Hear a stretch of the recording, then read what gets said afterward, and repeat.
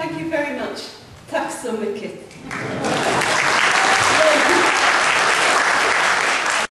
Jag heter Margaret. Jag kommer från England.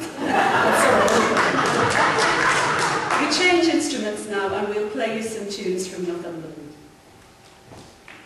You've had it easy all night. You've been listening to Swedish. We haven't. we haven't understood very well. So it's your turn to do some work now to listen to us speak a little bit of English, I'm afraid. so I hope you get what we get.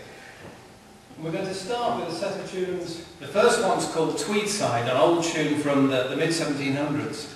And we'll follow that with two tunes which are the closest we can get to the Swedish polska. And it's a 3-2 hornpipe, the old-fashioned hornpipe. So we'll just check the tune and see how